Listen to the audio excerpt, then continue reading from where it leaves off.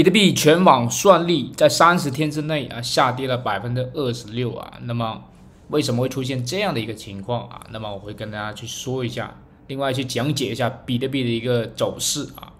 那么上个视频的话，我们是完美的去演示了比特币的一个价格的一个走势啊，那么也是预期的得到了一个啊我们的一个啊下降的一个预期是吧？那确实是它上行到这个两万两千多美金位置以后，那进行了一波的一个回调。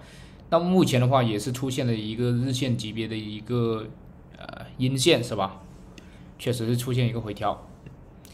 那么关于最近的话，比特币的一个算力的话，全网算力都在下降啊，是导致了为什么会出现这样的一个情况呢？就是因为啊，前近段时间的一个比特币的一个价格去下跌到一万。七千六百美金左右水平啊，然后有很多的一个矿工啊，他这里他做一些矿工啊矿机的一个啊算力的时候啊，那电费啊资费啊支付不了这个啊费用啊，为什么？因为比特币价格不断的去下跌啊，然后他们得到的比特币卖出去的价格啊啊供不起这个电费啊，所以。他们就会近期出现一个抛抛售的一个情况啊，有很多啊矿工的话，我认识一些朋友的话，都已经啊这段时间都已经不挖了，甚至是在啊最高点的时候啊，把这个矿机给卖掉了，是吧？矿机啊，在一个五万到六万美金的比特币的时候，把这个矿机啊也是高位的一个价格卖掉了啊，所以说现在也是赚了盆满钵满。那目前的话，它现在。在这些位置的话，也是停止去挖矿了，来停止挖矿。所以说，在这段时间的话，去算力去下降了百分之二十六啊，下降的挺多啊。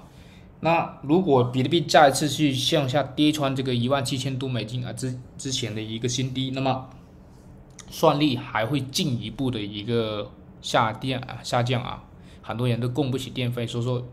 一些啊不是机构的一些挖矿的啊，那么他就会去。卖掉自己的筹码是吧？手里面的比特币也会卖掉，所以说踩造成一个踩踏的一个事件，那么会啊跌出一个非常低的一个底部出现了是吧？好，我们回到我们的一个比特币的一个啊情况来说啊，我们现在的话价格是来到一个两万零九百美金的位置啊。那确实是它日线级别这个位置，它之前形成了一个上涨通道，是吧？像之前，昨天我们说过是吧？在这上涨通道之后，跌穿这个位置以后，就出现一波非常深的一个回调。那么这个也是一样啊，如果在这个位置震荡一段时间之后，跌穿下方这条啊啊这条线啊，那么预示着有更深一步的一个回调啊，那么也就是击穿之前的一个新低啊，一万七千六百美金这个位置。那么会来一波非常深的一个回调啊，可能会跌到一万，可能一万二啊这一带的一个水平啊。那目前啊四小时级别有没有操作机会是吧？我们可以可以看大家看一下，那四小时级别的话，它在一个上涨的通道当中啊，但是的话，它现在已经跌破了一个四个小时级别的一个布袋中轨的位置，也是去沿着下轨进行向下跌。那么下方的支撑已经来到一个一万九千五百美金这个水平了，可能还要继续向下跌。我们可以看到下方的一个 MCD 的话，它是逐渐是在这个零轴上方的话，就出现一个死叉这个位置是吧？很明显啊，四小时级别出现死叉。我们来看一下日线，日线级别的话，它仍旧是在这个啊零轴下方啊，所以说形成一个双底的一个啊 W 的一个形态。那么之前的话，也是在这个位置形成一个。双底的一个形态，这个这个位置也是形成了一个双底，是吧？日线级别在这个这一片啊，形成一个双底啊，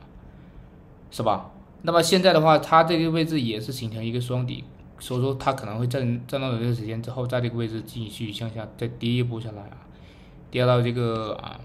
更低的一个位置，所以说接下来的话也是非常危险的，是吧？逢高可以去进行做空啊。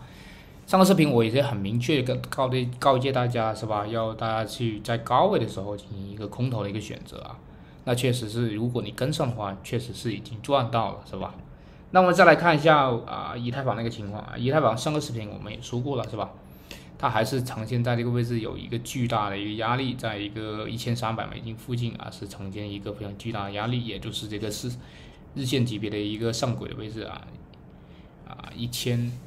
啊，一千一千两百八十美金这个位置啊，确实是来到这个不耐圣轨的位置之后啊，就出现了一波的一个深度的一个回踩，日线级别出现一个阴柱啊。那目前啊没有出现一个放量下跌，所以说它这一波可能还没有去走完，是吧？下跌还没走完，我们来看一下四条级别。四条级别的话，我们可以看到，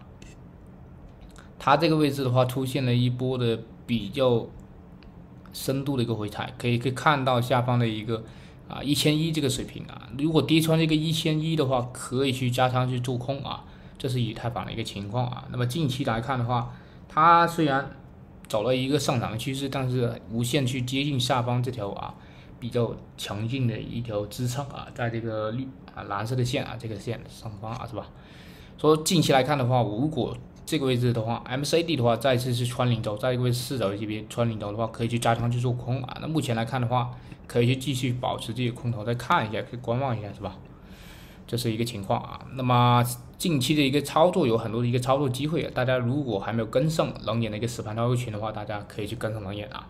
那么今天的一个节目的一个分享先说到这里，我们明天再见，拜拜。